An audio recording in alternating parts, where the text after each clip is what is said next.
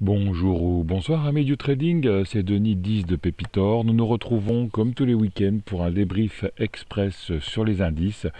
Nous allons passer euh, en revue, en analyse euh, technique, en analyse graphique, basée essentiellement sur les bandes de Bollinger, le chartisme et les moyennes mobiles.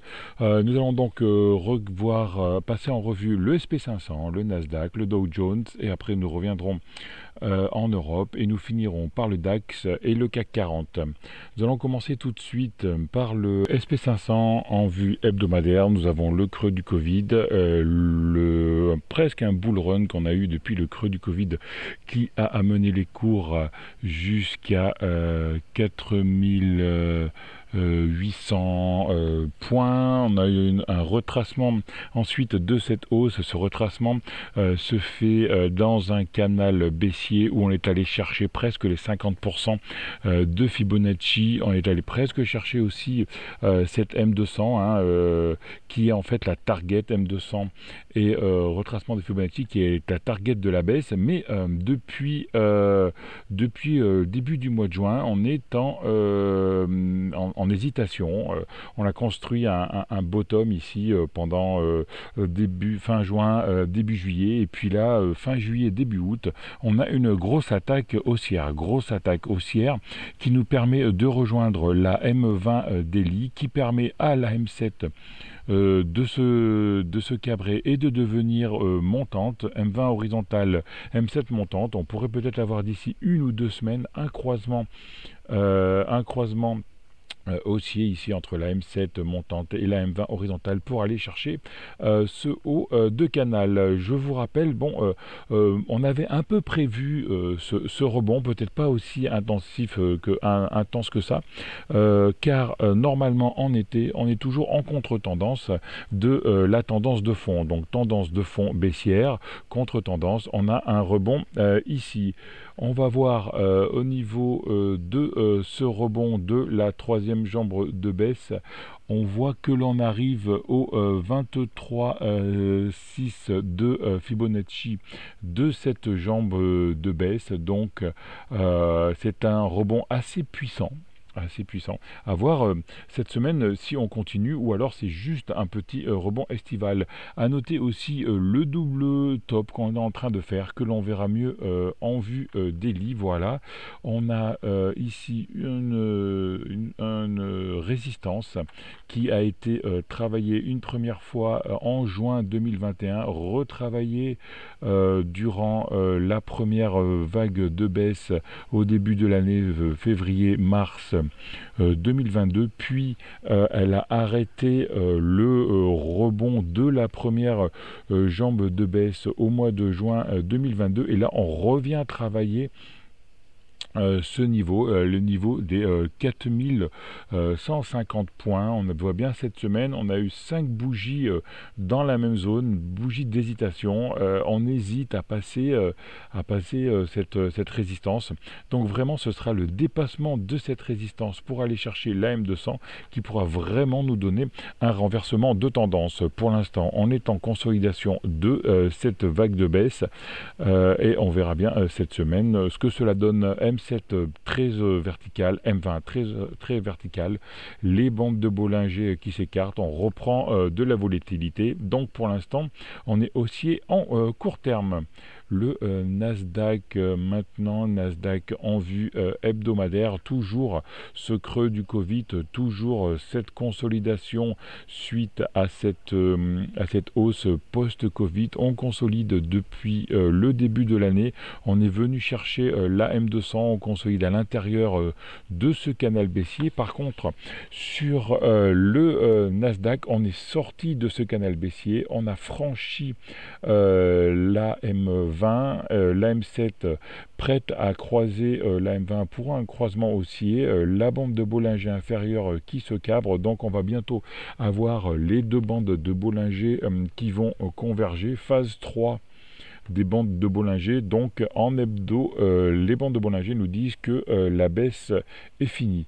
on a également sur le Nasdaq passer ce double ce double top qu'on est en train de travailler sur le SP500. On va mieux le voir en vue des Voilà, on avait donc la même résistance support euh, sur le SP500, mais le Nasdaq euh, est, qui est beaucoup plus, euh, beaucoup plus volatile parce que ce sont beaucoup de, des, des, biotech et de la technologie, donc beaucoup plus volatile que le SP500. On a travaillé et on a passé cette résistance et vendredi on est revenu euh, faire un pullback dessus. Donc à suivre cette semaine, si on revient euh, faire un pullback sur les 1200, euh, sur les 12 200 points, ou si alors on arrive à avoir encore de la force pour aller chercher cette M200 à 14 000 points.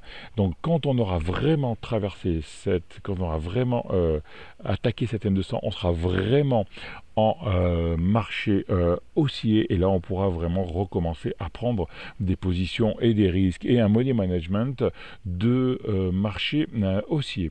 Voyons maintenant le Dow Jones en vue hebdomadaire, pareil, le creux du Covid, le range que l'on a eu pendant une année de, du printemps 2021 au printemps 2022 et on voit ici qu'on est, on vient rechercher, on vient retravailler euh, ce, euh, ce, bas de range euh, à 33 300 points.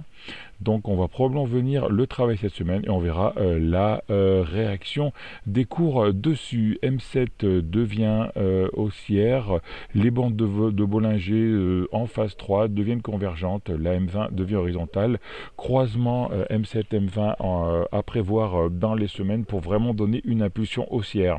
Autre scénario, on bute sur ce, bas de range en fait c'est un pullback qu'on est en train de faire, non croisement baissier, et on repart vers le bas. Donc toujours avoir deux scénarios euh, en vue. Hein. Donc un scénario euh, comme quoi on est en consolidation de la baisse et on va reprendre une jambe de baisse ou alors un scénario où euh, la baisse est finie, on vient casser ce bas de range et on va ensuite aller chercher le haut de range à 36 000, 37 000 points.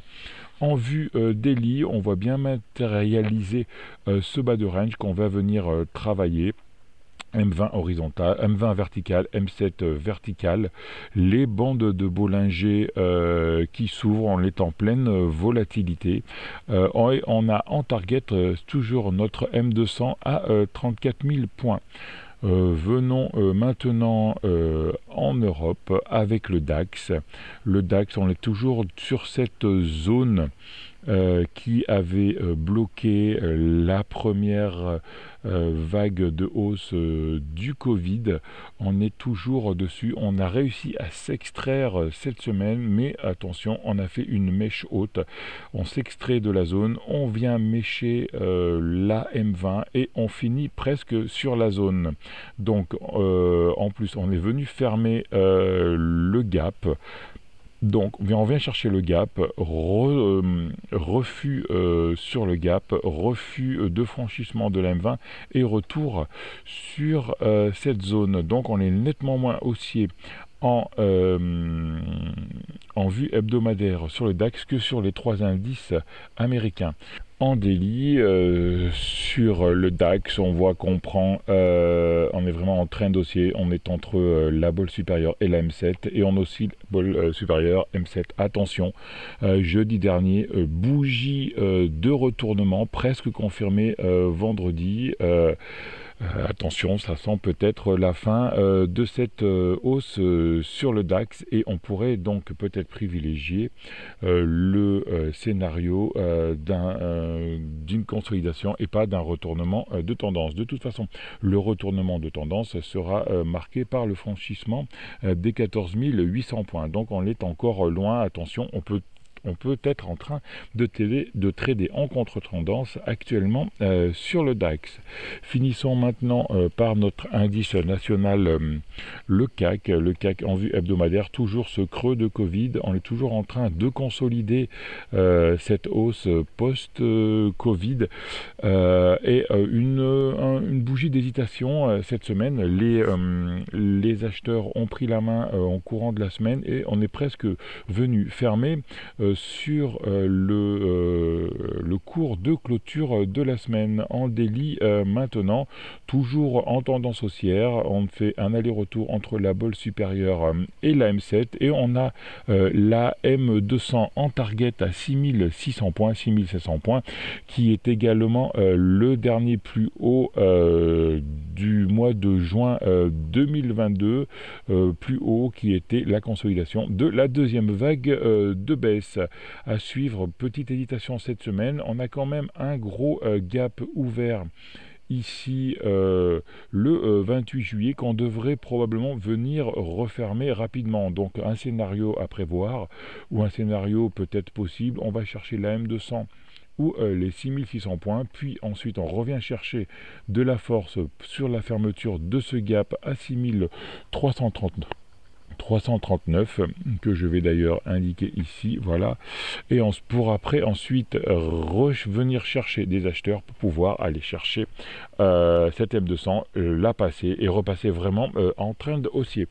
Voilà amis du trading c'était Denis 10 de Pépitor comme vous avez vu les indices sont au rebond mais faites attention on est en été et en été normalement on est toujours en contre-tendance de la tendance de fond donc il nous reste encore trois semaines au mois d'août pour profiter peut-être de ce rebond avant euh, la rentrée au mois de septembre qui s'annonce euh, houleuse. Voilà, euh, merci à tous d'avoir vu cette vidéo. Comme d'habitude, si vous avez aimé, mettez un pouce bleu, abonnez-vous à la chaîne, faites sonner la cloche et laissez des commentaires. Ciao à tous, bonne semaine et bonnes vacances.